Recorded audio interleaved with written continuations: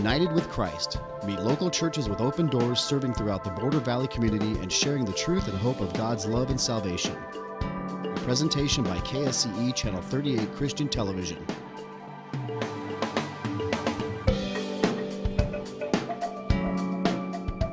And now, United with Christ. My name is Doug Coyle. I am pastor of Grace Covenant Church in Las Cruces, New Mexico. Our web address is www.gccnm.com. We also have two churches, sister churches here in El Paso. One is Christ the King on the west side of El Paso, and Las Tierras Community Church on the east side of El Paso. I want to put our Greek word for the day up on the board. The word we'll be learning together. And it's the Greek word morphe. I'll put a translation right underneath there. Morphe. This Greek word literally means nature or essence. And you'll recall that the New Testament part of your Bible is written in Greek. And so this is found in Philippians chapter 2, verses 5 through 8. In chapter 2 of Philippians, the Apostle Paul is writing to a church in the city of Philippi. And he's talking to them about who Jesus is and what he has done. And he's trying to encourage these Christians uh, to love one another and serve one another in the body of Christ. And what we have in Philippians chapter 2, verses 5 through 8, is really an eyewitness testimony as to who Jesus is and what he did.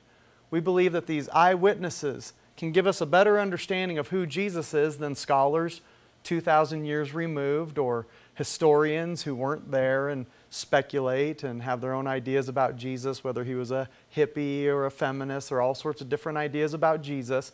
But in Philippians chapter 2, verses 5 through 8, we have unmistakably the clearest teaching about who Jesus is by those who knew him and by those first Christians uh, who gathered together uh, to worship and uh, praise and believe in this Jesus. Philippians chapter 2, verse 5. I'll begin reading that verse. Your attitude should be the same as that of Christ Jesus so, Paul again is writing to a group of Christians in the city of Philippi. That's why this book is called Philippians. And these are the first Christians ever in this city. This is the first church, Christian church ever in the city of Philippi. And his command here is that he wants them to have the same attitude that Jesus has.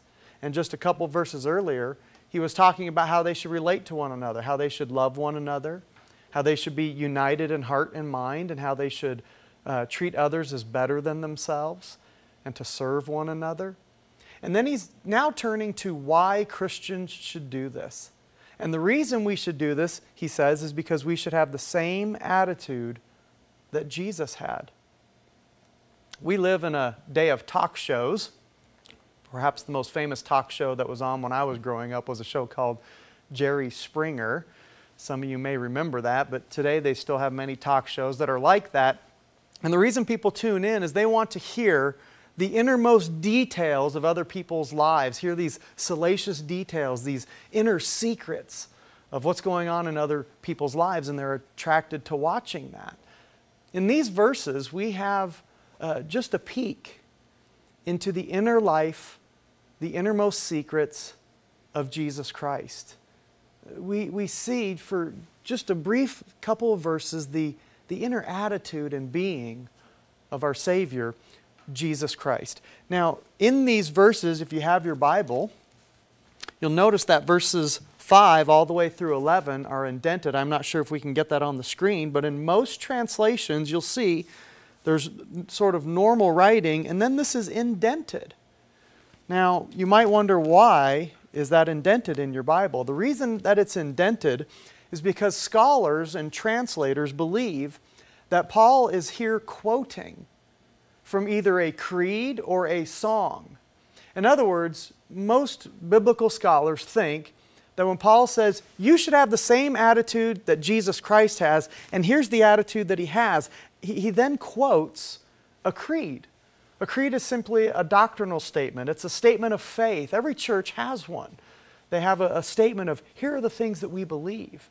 And so some Bible scholars believe that this is one of the first doctrinal statements ever written, ever believed by Christians, and that throughout the ancient world, in every worship service, Christians were reading and saying this creed out loud as a statement of faith. Other Bible scholars think that perhaps it was not a creed, but really a song. That this is one of the first hymns that was ever written, and that this was a song that would have been sung in every church throughout the world.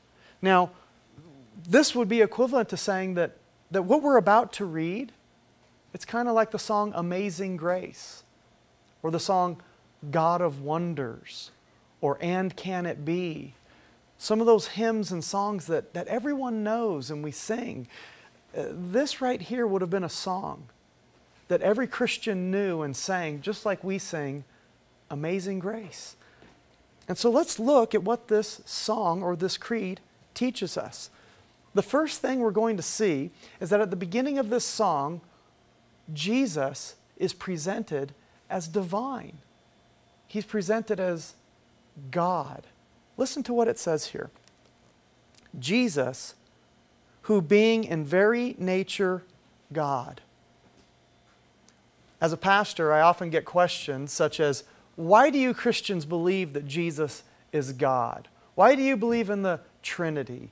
If Jesus is God, why doesn't the Bible just say it clearly? Or they'll say things like, if Jesus is God, why didn't he just say somewhere in the Bible, I am God, in those simple words? Well, first, Jesus did declare himself to be God. He says in the Bible that God is his Father, and there he's declaring that he is of the same nature as God, and that's why those Jewish leaders, when they heard Jesus say that, said that this one is claiming to be equal with God. In John 8, Jesus declares himself to be the I am, which is the name of God.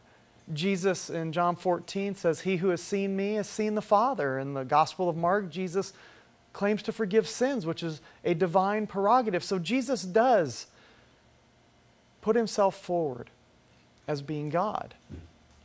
But here's the thing if Jesus merely said, I am God, that would not be very convincing. In the ancient world, every Caesar or emperor declared himself to be God and required of all the citizens that they declare that Caesar is God. So for Jesus to simply say the words, I am God, would be nothing new, nothing unique. In fact, in our own day, we have people who say the same thing about themselves. You might be familiar with Shirley MacLaine in the New Age movement. She'll rent a hotel and she'll have a conference where lots of people come into this huge conference room, and she has people running around these conference rooms shouting, I am God, I am God. So there's nothing peculiarly unique about saying, I am God. So the Bible goes far beyond that. In these verses here, we see something said about Jesus that is not said anywhere else of any, any other person in human history. It goes far beyond the mere words of, I am God. Listen again to these words Philippians 2, verse 6 Jesus, being in very nature God. That word nature, Jesus is in very nature God. There's our Greek word, morphe. Morphe simply means the nature of something, the essence of something, the core of what it is. And this is the word that the Bible uses to describe that Jesus is of the very nature of God. I'm going to put another Greek word up here. This is a word that the Bible could have used, but did not. This is the word schema. This word means accidents or non essentials or something that is outward and tangential. So the difference between these two words is one of them is the essence and the core and the nature. The other one is sort of accidents, non essential things or outward things. And I want to give you a couple of examples of the difference between these two words because it gives us clarity as to what the Bible is telling us about Jesus. So when we talk about morphe and schema, every object in this world has both of these, a morphe and a schema. So let me give you an example. What is the morphe or the nature of a ball? So there are different types of balls. There are tennis balls, there are volleyballs, and there are basketballs. So what's the nature or the essence of what it means to have a ball? Well, the morphe or nature of a ball would be round and bouncy. That's what a tennis ball, a volleyball, and a basketball all share in common. They're round and bouncy. That's their morphe. So, what is the schema or the outward things or the accidents of a ball? Well, one example would be green and fuzzy. Well, that's a tennis ball. It's green and fuzzy, but that's not part of its nature because a ball can not only be green and fuzzy, but a ball can also be white, like a volleyball, or a ball can be orange, like a basketball. It can be leathery, or it can be plastic, or it can be rubber. Those things are accidents. The morphe of a ball is that it's round and bouncy. Its accidents are whether it's green or red, whether it's leather or plastic, and so you begin to see the difference. I'll give you another example with myself. I'm Doug Coyle, and my morphe or my essence is who I am. It's my soul, it's my mind, it's my memories, it's my person. That's my morphe. My schema would be those things about me that are accidents. They're not essential. So, for example, whether I have large muscles and I'm cut and ripped, or whether I am skinny, would be an accident. So, whether I look like The Rock or Arnold Schwarzenegger in terms of my muscles, or whether I look like Mick Jagger and Michael Jackson, I'm skinny with not big muscles, those things aren't essential to who I am as Doug Coyle. They're accidents. Now, you might be wondering, he's wearing a jacket. Just to let you know, I am closer to Arnold Schwarzenegger and The Rock. But those things would be my schema. They're not essential to who I am. I'll give you another example. My arm right here. Would this arm that I have be my morphe? Is it part of the essence of what I am? Or would it be a schema? Would it be an accident or a non essential? Let's say I got in an automobile accident, and in that accident, my arm got cut off.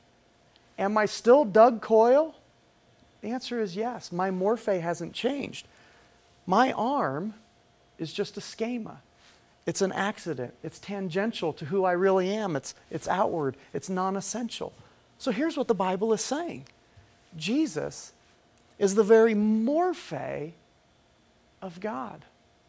In other words, Jesus has the very nature of God, the very essence of God. This is what the Bible is teaching you. Whatever it is that makes God God, that's what Jesus is. Whatever it is that belongs to the divinity of God, it also belongs to Jesus. God the Father and God the Son have the same nature. And that's why in John 5, when Jesus said, God is my Father, the Jewish leaders knew what he was saying that he's of the same nature as the Father, and he's declaring himself to be equal with God. So Jesus is the very nature of God, and verse 6 goes on to drive this home even more deeply. Look at verse 6 again. Jesus, being in very nature of God, did not consider equality with God something to be grasped. So here we are told that Jesus has equality with God. The Greek word here, equality, is the Greek word isos, which uh, simply means equal. That's what the word means, is equal to. You are probably familiar this, with this word if you remember back to geometry classes that you took in high school. Now, some of you are trying to block those memories out, but if you recall, in geometry, you probably learned what an isosceles triangle is. An isosceles triangle is a triangle with at least two sides that are equal. And that's why it's called an isosceles triangle. So here we are told that Jesus is isos. He's equal with God. He's the very nature of God, and he's equal with God. Again, in John chapter 5, that's what the Jewish leaders concluded. Jesus is claiming to be, and it uses the same word, isos, equal with God. Now, this verse goes on to say this Jesus did not consider equality with God something to be grasped. Now, this verse does not say Jesus did not consider equality something to be grasped after, or something to be sought for, or something to be reached out for. It's not saying that Jesus didn't think equality with God was something to strive for.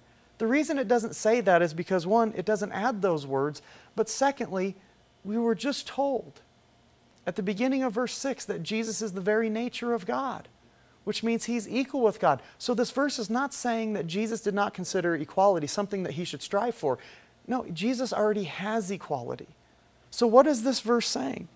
What this verse is saying is this is that Jesus does not consider his equality with God something that he has to clutch onto, something that he has to cling onto in such a way that he's unwilling to humble himself, to become a servant.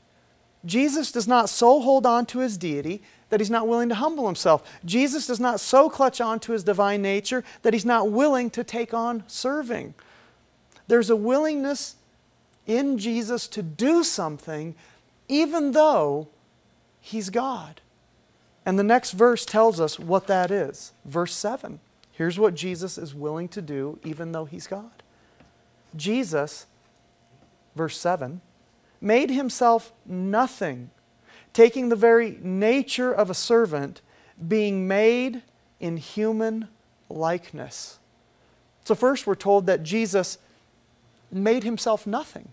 God makes himself nothing. The one equal with God makes himself nothing.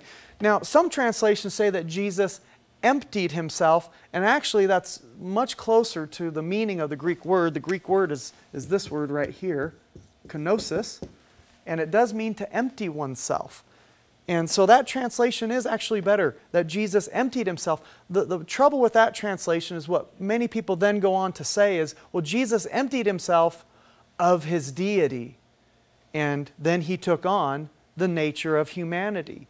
That can't be what this verse is teaching because God can never give up his godhood. The divine can never give up his divinity. What this verse is saying is that Jesus, the Greek is Jesus literally emptied himself. He emptied himself. Not he emptied himself of deity, but he emptied himself, which means he humbled himself. Here's what this verse is saying that Jesus, though he's God, though he's divine, did not so cling and grasp onto his deity in such a way for self aggrandizement. Jesus so held on to his divine nature in such a way that it was selfish promotion that he was only concerned with. No, what it's telling us is that Jesus is the nature of God, he's equal with God, and yet he humbles himself. And the way he empties and humbles himself is by taking something on.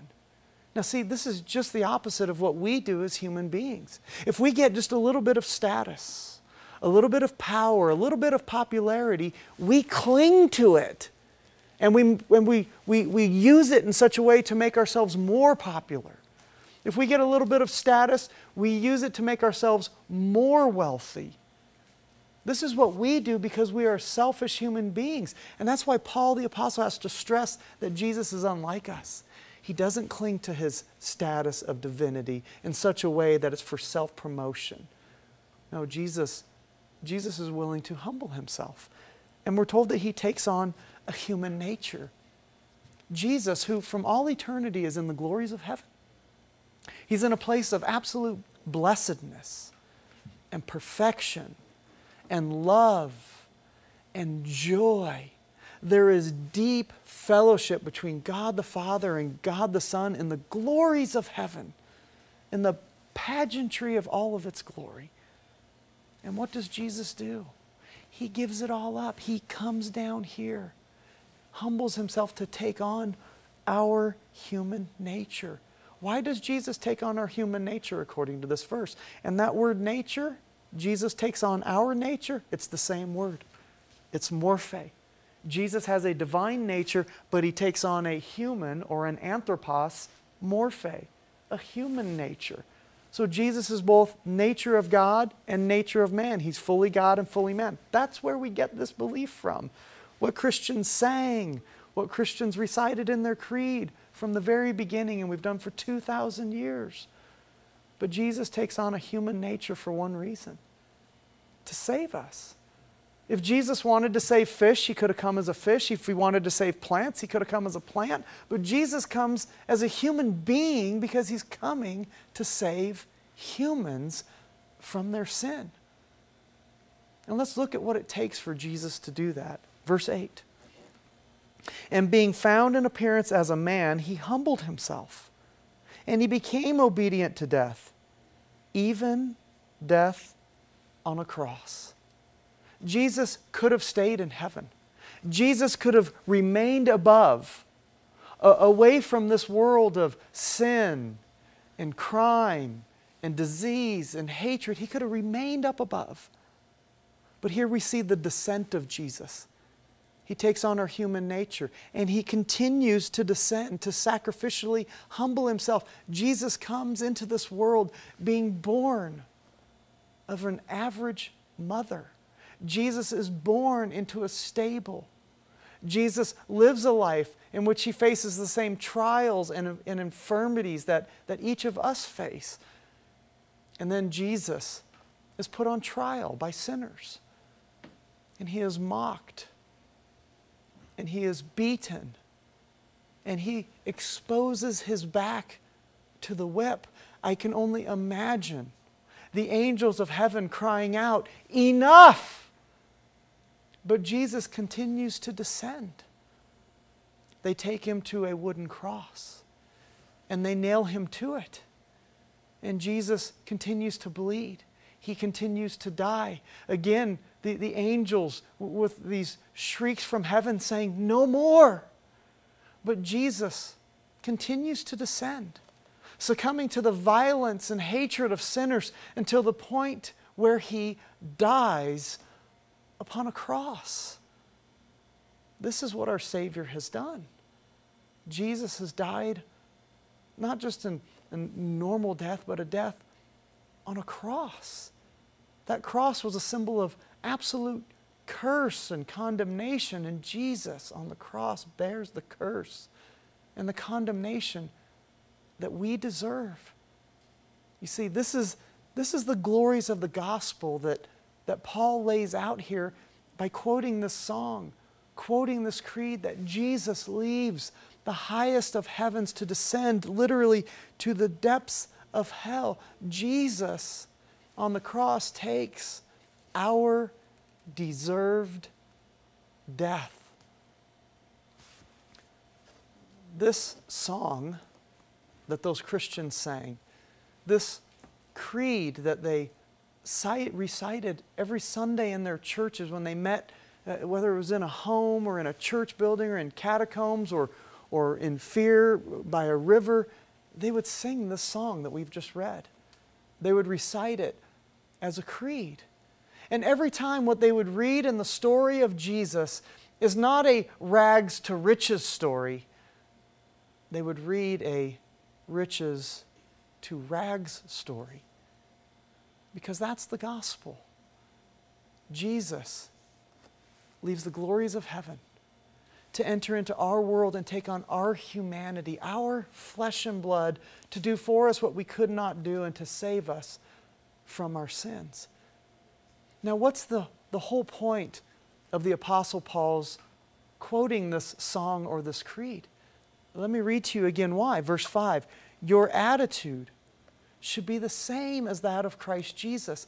In other words, Paul wants you to have the, the same attitude of Jesus, this riches to rags story. This is what Paul wants every Christian to be like. Let me read for you those verses that preceded this, that the, the attitude that God wants us to have as Christians. In Philippians 2, verse 1, we read these words if you have any encouragement from being united with Christ, if any comfort from his love, if any fellowship with the Spirit, if any tenderness and compassion, then make my joy complete by doing this be like minded, having the same love for one another, being one in spirit and in purpose. Do nothing out of selfish ambition or vain conceit, but in humility consider others better than yourselves. Do you hear what, what was just said there? You are, as a Christian, to consider others better than yourselves. In this world that we live in, and in this particular society of the United States, we're all about equality. Everybody's clamoring, clamoring for their own rights, and, and we should be treated as equals. That's what everyone in our country believes, but that's not what Christians believe. We don't believe in equality. Here's what we believe in treat others not as equal, but better than yourself. That's the high calling. Verse 4 each of you should look not only to your own interests, but to the interests of others. And why? Because this is exactly the attitude of Jesus. This is what he has done. Jesus did not grasp and clutch for his own selfish purposes. This past Sunday at church, my youngest son came up to me, and at our church before the service, we have uh, breads and donuts and coffee and so forth, like many churches. And my son got this donut that he just really loves, and he came up to me after church and he was holding it on a napkin and he was looking at me like, Look what I got, Dad. And there was someone else from my church who was standing next to me, another adult, and just in a joking manner, he went like this and he said, Oh, did you bring that for me? And my son instinctively went like this It's mine. My donut. And that's what we do. That's our nature. Why is it that no human being does this? When we're holding that thing, and that person from my church said, Oh, did you bring that for me? Why do we not go instinctively to give it? Instead, instinctively, we clutch, we keep, we're selfish. This is what we do by nature. But do you see what Jesus, who is fully God, do you see what he has done? He didn't grasp, he didn't clutch. Instead, he gave. Instead, he took on our human nature. This is what Jesus has done. And now he says, do likewise. The fact that Jesus has done this, that's what saves us. That the God of heaven and earth died on a cross for our sins, that saves us. It's not what we do, it's what he's done. But what Jesus has done also transforms us. It turns us into people who want to live like Jesus did. It turns us into his followers who want to serve him in the same manner that he served us. Thank you. Thank you for watching United with Christ. We pray this has been a blessing to you, and we invite you to tune in again tomorrow. We invite your comments, questions, or prayer requests. You may contact us at KSCE Christian Television, 2201 East Wyoming Avenue, El Paso, Texas 79903, or call us at 915 532 8588 during regular business hours, or you can visit us on our website at www.ksce.com. God bless you.